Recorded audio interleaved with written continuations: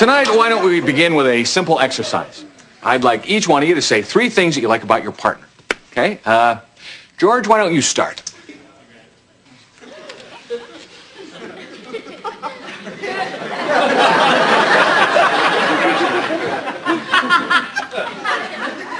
Well, Well, what? the man said to name three things you like about me. Fine. Your mother died, your mother's dead, your mother ain't living no more.